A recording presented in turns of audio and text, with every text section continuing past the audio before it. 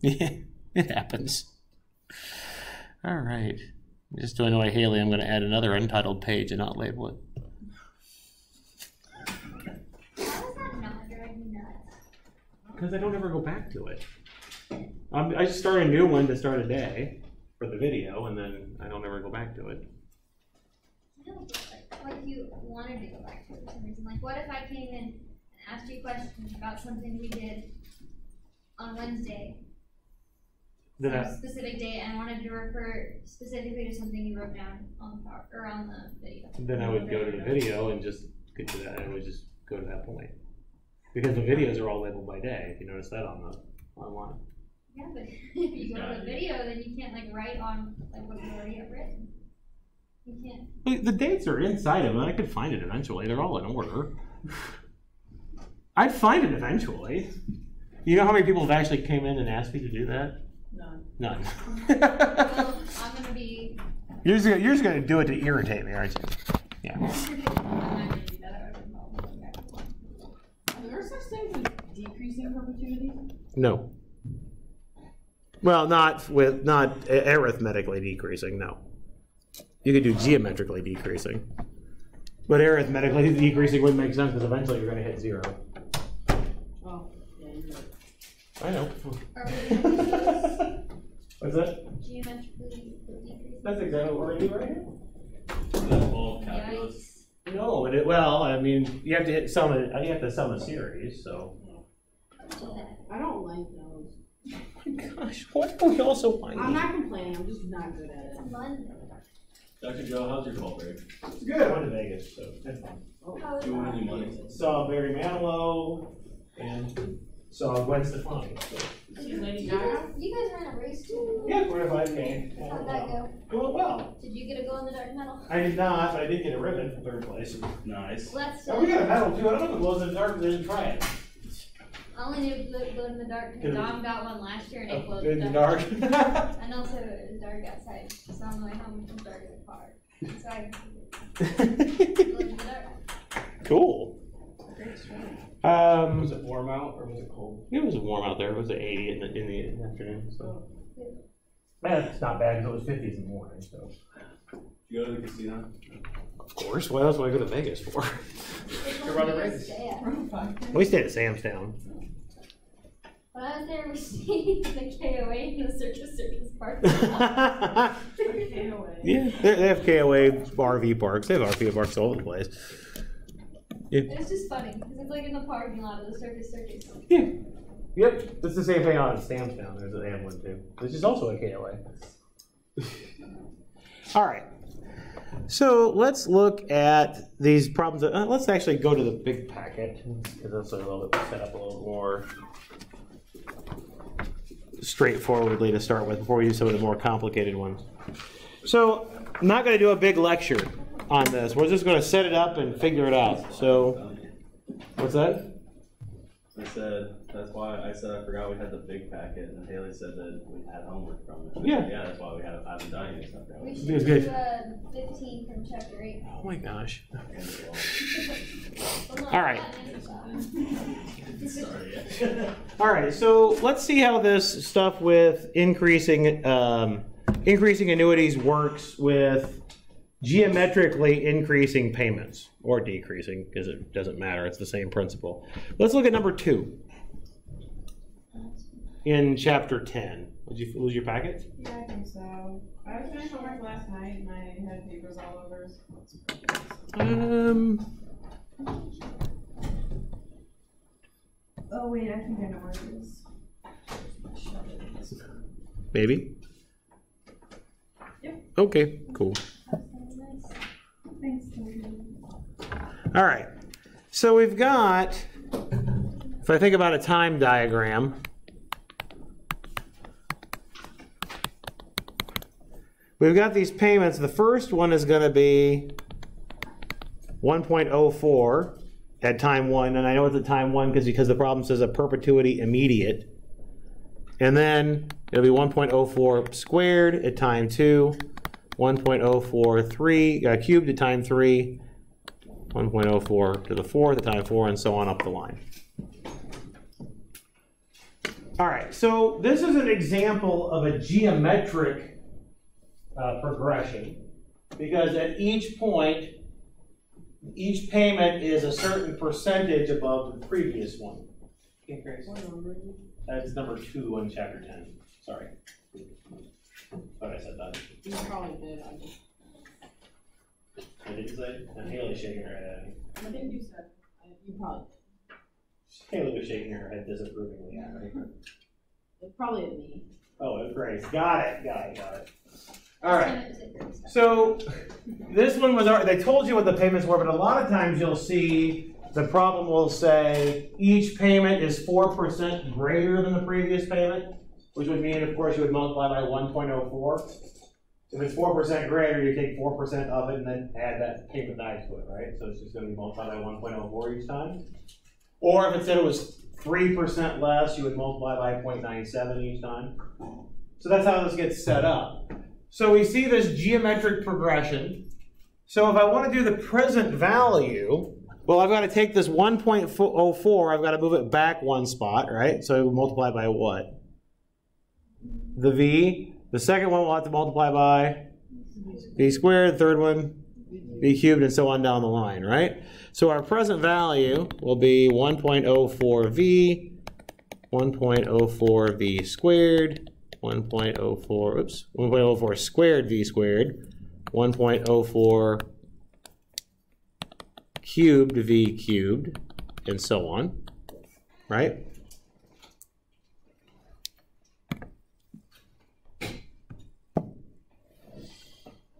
All right, so the whole po- point of this is to get the present value, of course, but notice that we have a geometric series because I can think of this as 1.04v plus, and then I could pull out the squared, 1.04v squared, the whole thing squared, 1.04v cubed, and so on down the line. So I have that same multiplier, if you will, just being raised to the higher and higher powers each time, right?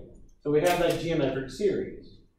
For an infinite geometric series that starts at 1, so if I think about this over to the side, if I start at 1 and then go to r, and then go to r squared, and then r cubed, and so on down the line, what does that add up to? One over one The 1 over 1 minus r, right? as long as R is in between two. Correct. right? We get this for our geometric series, right? Thing to remember is that this first term here needs to be a 1 if we're going to use this particular version of the formula. Okay? So in this particular geometric series, I don't start at 1, right? So at least the way that I always attack these problems is to factor out a common factor so the series left starts at 1. So what do I need to factor out of everything? One point oh four V. Yeah, 1.04v. So that will leave us with a 1 plus a 1.04v plus a 1.04v squared, so on up the line. And now this thing in parentheses, why do I keep missing where I'm supposed to put that exponent? Every time. Keep putting it in the wrong spot. What is playing the role of our our r in this formula, or in this uh, what's inside the parentheses? What's playing the role of r in this geometric series? The 1.04v, right? So if I plug it in here, I get 1 over 1 minus 1.04v, right? So this will be times 1 over 1 minus 1.04v. And then we can, should be able to simplify this because we know what v is, right? In this case, it told us the interest rate was 8%. So our v will be what? Good, 1 over 1.08. So if I do that, 1.04 divided by 1.08. So your 1.04v is approximately 0.9630.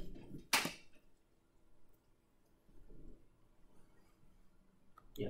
Okay. So your fraction part is 27. apparently.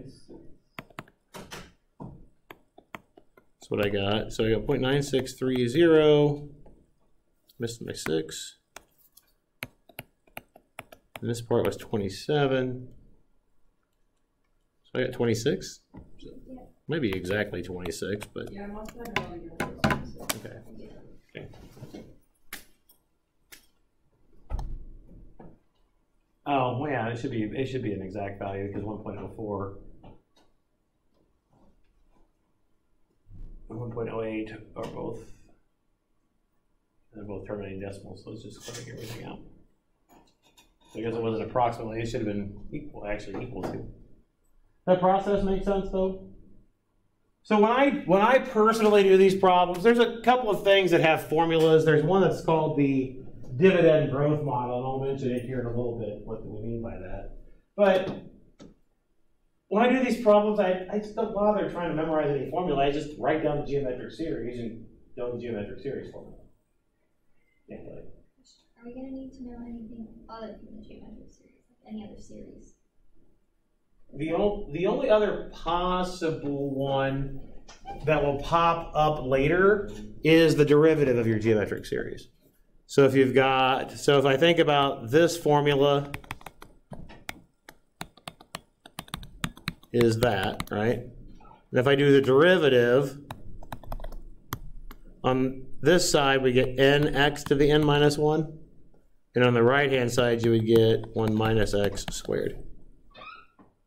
That one might pop up later when we do duration. Yeah, We'll talk about duration later. I was just asking. Yeah. what Series are. Yeah. Those are.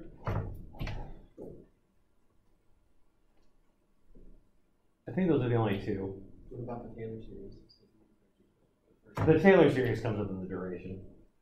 And then, uh, really, well, we're gonna say the words Taylor series and talk about a little bit about it, but you never go past the second degree term anyway. Ever. You just have to do a Taylor series expansion with two terms. Nope, you don't have to do that. It's just, you use it to show that the, what the equivalence is and just to show that it works. Oh, no, you have to go beyond the second term effort. Yeah, not in this, not in this class, we won't. So, all right. So let's see if we get, uh, the only thing that will change on these is if it's a, an actual, honest to goodness annuity and not a perpetuity. Because our geometric series has a different, slightly different form. Not much of a different form. But again, I always make it start at one. so that my formula works out the same every time. So the important part with a finite geometric series, if you start at one, what you subtract off in the numerator, the power of the r is one more than the last thing within in your sum. So if this were r to the ninth, you would have an r to the tenth in your sum, in your formula on the right hand side. It's always one more. And you can see then where the geometric series formula, infinite geometric series formula comes from, right? If r is between negative 1 and 1, which is what you talk about in calculus, and I take the limit as n goes to infinity, that goes to 0. So that's where you get the 1 over 1 minus r.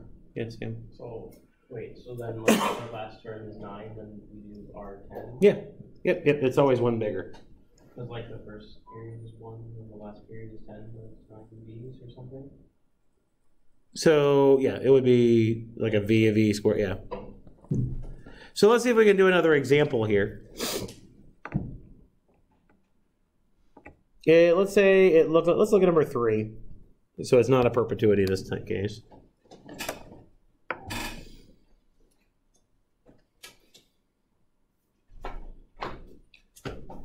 Annual profit comes in at the end of each uh, year for 20 years.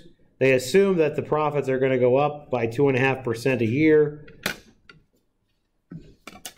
The first payment is $10,000. So what they mean by that is the first profit at the end of the first year should be $10,000. Wait, which one, which one? Number three on uh, the big packet, big packet. In chapter 10 of the big packet. It wants to know the present value, assuming an annual effective interest rate of 6%. So, if I think about time value diagram again, I know it goes for 20 years. I'm not even going to bother in the end. At time one, we've got a $10,000 payment, right? What happens at time two? Ten times two point five. We have the 10,000 times. How do I show a 2.5% growth by a multiplier? Yeah, 1.025. And then at time three, we'll have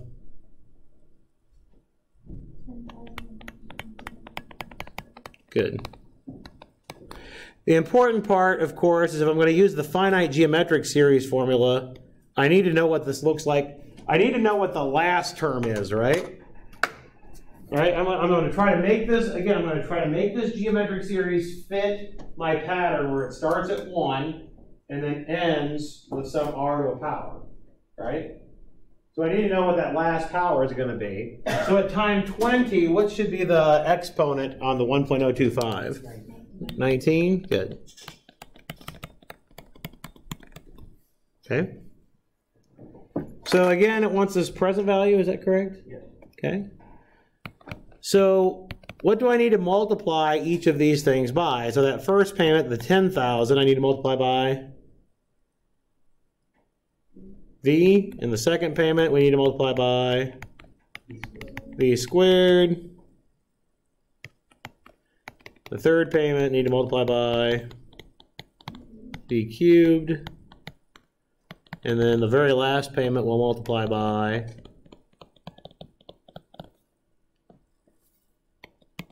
what? To the 20th. Good.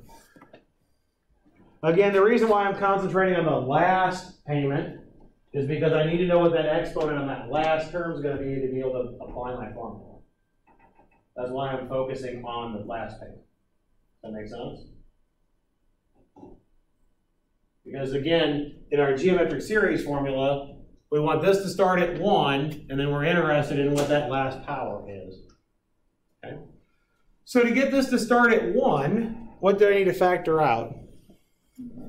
10,000 V.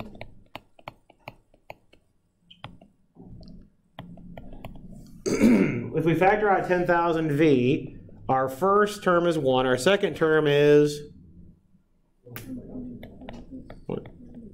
1.025 V because we pulled out a V, right? The second term will be the. Okay, 1.025 v, the whole thing squared, right? Because if we pull out a v in this, the third term, makes a v squared and a 1.025 squared, so I can factor, I can just pull the two out, the squared out. All right, so what does that make your very last term? One point oh two five times V, all that to the nineteen. Good.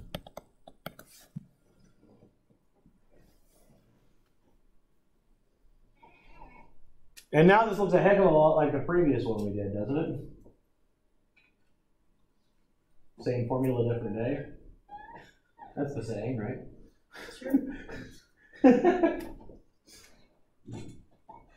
SFDD. SFDD. All right. So now this is a finite geometric series in this case rather than an infinite one. The 1000, excuse me, the 10,000 V stays in front. What's it going to get multiplied by? One minus, uh, one point two five V to the X power. To the X power? What's the X up here?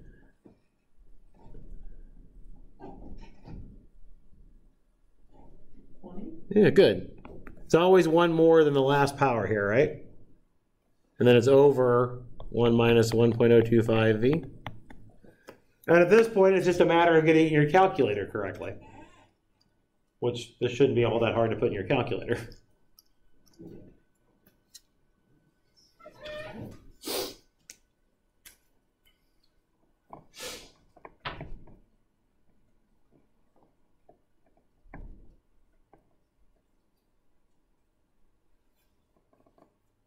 Anybody get an answer? No. hundred and thirty-nine thousand, seven hundred and thirty. You say 139, Seven thirty-four? Yeah. I got this one. Okay, I'll buy that. Seventy-six cents. if you want to do that. Sure.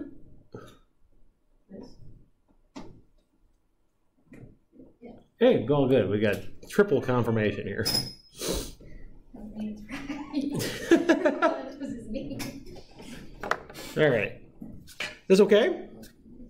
Yeah. So, um, let's talk about this stock, this growth dividend model. It's not anything that's a big deal. I don't ever remember the formula. It just it pops up. So, all right.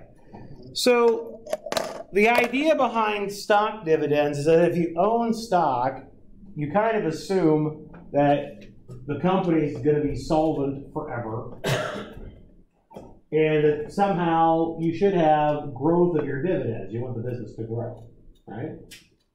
So the idea is it's a way to price stock. If you know the current interest rate and you know the projected growth rate of those dividends, you should have a value of that perpetuity that should be equivalent to what the price of the stock is, right?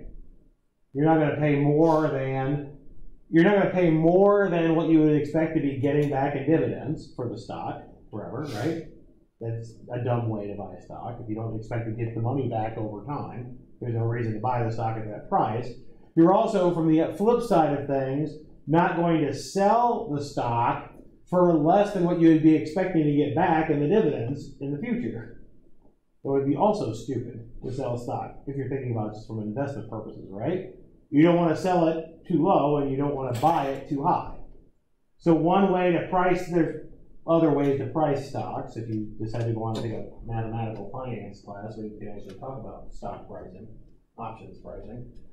But there's other ways to value stock. That's one way to do it. You, you have projected growth of dividends and you know current interest rate, so you can figure out the present value of that perpetuity. Okay? So think about if, let's suppose that that the current interest rate is I, and the projected growth rate of your dividends is G.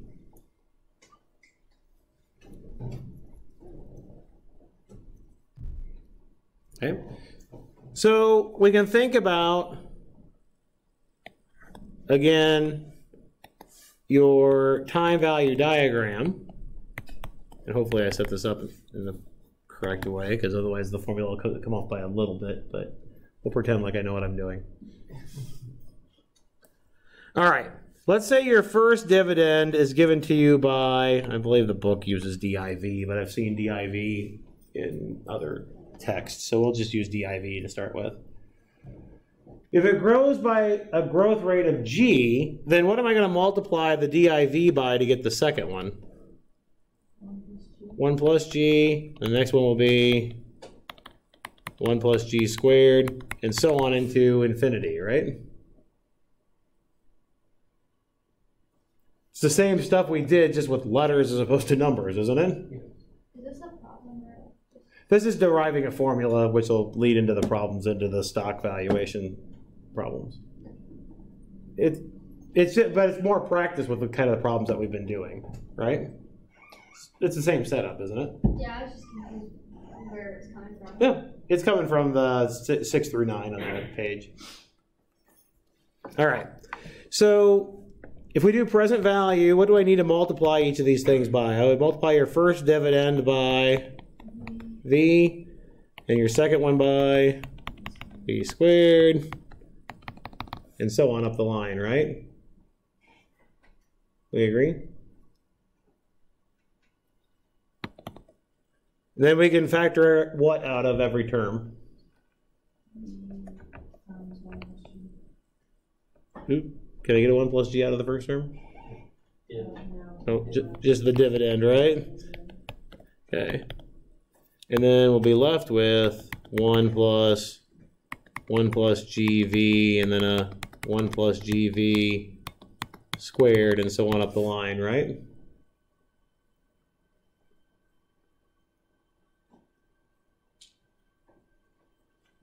Yeah. All right. So what does that infinite geometric series sum to?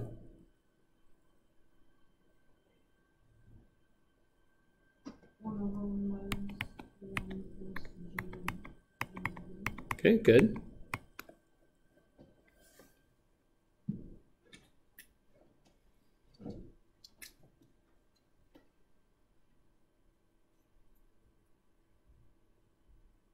Now that doesn't look like a pretty formula, but it gets better. I promise. What's v equal to? 1 over 1 plus i, right?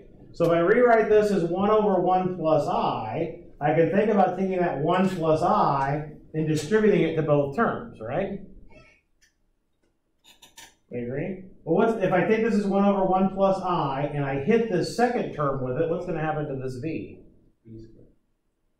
Hmm, We're rewriting this as 1 over 1 plus i and running it through. Cancel. It's just going to cancel it, right? It's just going to go away, isn't it? So we're left with a div on the top, 1 plus i, because I still have to distribute it to both terms, correct? So when I take the 1 plus i times the 1, I get a 1 plus i.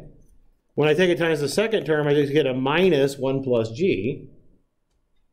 And this turns into your first dividend over i minus g. So this is your stock valuation model. Now, for that to work, what do we need to assume about I and G? Even more than that, to make it actually work for it. Yeah, G better be less than I, right? You're exactly right. They can't be the same if they get zero. But it also, from a stock pricing standpoint, doesn't make any sense. If your growth rate is higher than the interest rate, then you're going to be getting a negative present value, right? Doesn't make any sense. So we need to assume that our growth rate is less than our interest rate. So what is the growth rate? Is it how much the stock grows by? This one should be the whatever, yeah, whatever you're anticipating the stock, uh, the growth, the stock grows by each year, which would typically be given to you or estimated by previous years. Because you would have that data. So where does the interest rate come from? Yeah, that would be prevailing interest rates. Whatever that happens to be, so probably whatever prime is. This is just for stock. It works for anything. That's, it, it'll work. It'll work for anything for infinite geometric series. Where your first payment, it would work for. You have to be a little bit careful. It would work for. Well, it works for anything that we've done so far. For infinite, it has to be infinite geometric series, right?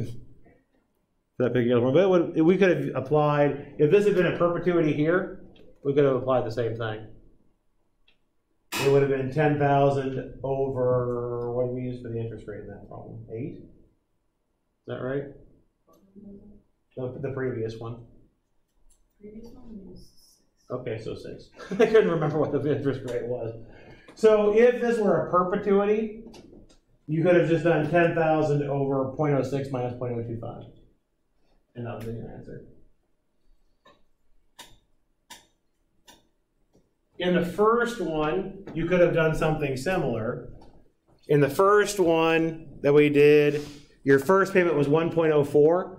So you would do 1.04 over was that the one we used eight percent? Yeah, okay. So then you would do one point oh four over 0.08 minus 0.04. And be done. If you're the formula. I never remember the formula, so I would have to redo it every time. But yeah. I think you said this, but stock valuation is always perpetuity, right? Yep. Okay. Yeah, it has to be perpetuity. Because you're you don't want to make the assumption that the business is going to go out of business. That would be, that would be why it would if you were assumed that it would stop, that would assume that the business stops. So you don't want to value stock that way because it'll plummet. that would be a bad way to value stock. Assume you're going out of business. Well, then no one's going to want to buy it, and your stock is worthless. Assume you go into business in X years. Yeah. So yeah. So it's gonna be has to be perpetuity in this case. So let's see if we can apply the formula to one of these problems. Which of six through nine do you want to do? Seven. Seven? Okay, sure. Why not? All right. So this one's yeah, this one's just a little bit different, but it's not bad. It says the company announced that it plans to increase its dividend by one percent each quarter forever. That is weird because that's not. All right. So that uh, that talks about some words that we haven't talked about yet. Let's just see if we can value the stock, and then then we'll talk about what the opportunity cost of equity capital is. Okay. All right. So let's see how you would how you would value it this stock. So what the opportunity cost of equity capital is is it's asking you to figure out what the interest rate is. That's not confusing at all. No. So we should write that around as opportunity cost of equity capital is just interest rate. No, we'll just I will tell you what the interest rate is on test. So I think that's more I think that's more of a finance topic than it would be on this particular exam anyway. I think somebody was just trying to give you another way to look at the problem. So what they're talking about is that there's costs that come up with adding stocks and those kinds of things to your business. So they're trying to figure out what the implied interest rate is by what their dividend is, which would give them what the interest rate, the prevailing interest rate, or I guess technically worth would be to people for these particular dividends. So anyway, it's more of a financial topic that would be getting into in more of a corporate finance class than what what we're going to talk about because we're just trying to get we're just trying to figure out what the interest rate is. Okay. Uh, you'll, if you do, well, if you take corporate finance, you should be talking more about those kinds of things anyway, outside of my scope. All right. So anyway, so according to this, sorry, what's that? We love finance. You love finance? Yay, good. I'm glad. All right. So according to this formula, one thing that you have to remember for be able to get this formula work to work, it assumes that your dividend, your first dividend is coming at the end of the period, right? Where did when did it just say the first dividend was paid? Immediately, right? It just issued, correct? So if it just issued a dollar fifty dividend, what's going to be the next dividend in the line?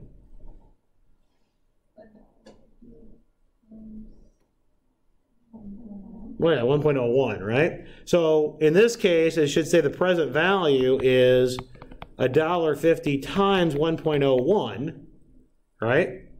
Because that's the next dividend. That's the time. That's the dividend at the end of the next period, right? Over I, I don't know. That's what we're trying to find. Minus G. What's G? 0.01. This is this is just using our formula that we just created above, right? We multiply it by the 1.01 because that's the next one in the line, right?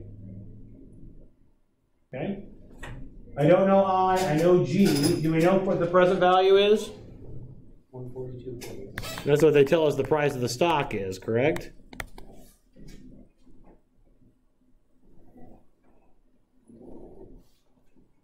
So we should be able to solve for I, I hope.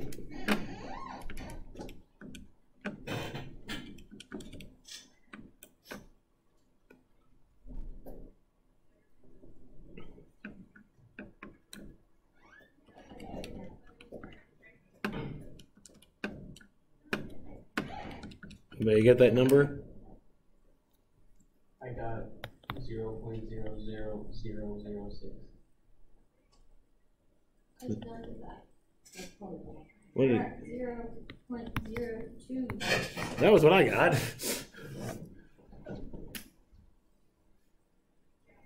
All right, so Saying you subtract point zero one, not add it. I know, I did.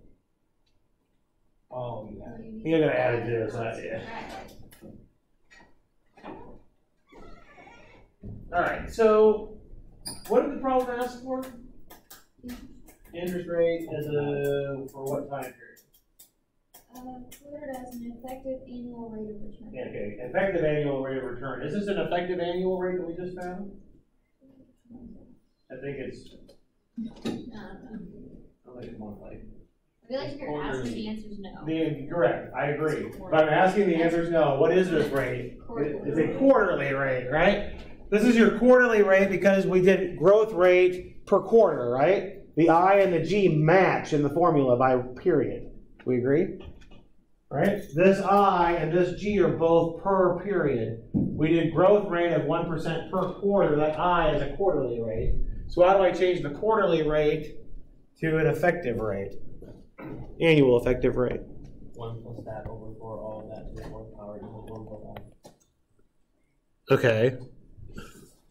I agree. I'm going to do one plus something to the fourth power. One plus zero point zero two. Yeah, zero two zero six. Right. I don't need to divide that by four. That's already a quarterly rate, so I don't want to divide it by four again. The formula is one plus I four over four. This number that you've got here is I four over four. That's your quarterly rate, if you want to think about it that way. And then we would subtract one, right, to get the actual percentage.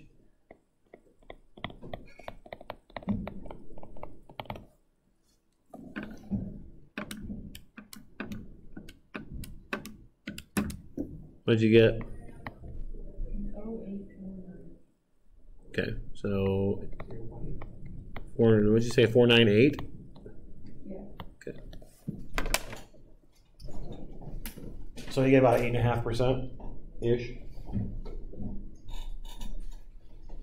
Does that make sense? Again, this you can use this for perpetuities too, by the way. Harder to use for annuities. You can use it for annuities, but you'll still have a different thing, a different uh, piece in your numerator. Is there a reason that we don't have to add one fifty to our present value since, um, that one fifty times one point oh one is our second? No, uh, there's, the reason is that the, the one fifty has already been paid to the stockholders. So if someone's going to buy the stock today, they don't expect that one fifty. Oh, They expect the next dividend. okay, If the div, there are things that you have to do differently if the dividend is going to be paid later. So, uh, for example, say that you sell your stock seven months into the year, then you should expect to get seven twelfths of the dividend, and whoever you sell it to should get five twelfths of the dividend, even if, though they're gonna get the whole thing. So if you sell your stock, you should incorporate that into your stock. But this one, since the- it specifically told you the dollar fifty had already been paid, if you're going to sell it, then you don't have to worry about the dollar fifty, because it's yours already. And then the other person will have the stock for the entire period. gotcha. So that's why we didn't have to incorporate. That's a very good question. It would, it's stuff that you have to worry about if you were selling the stock at the, which I think they've taken that stuff out of this example.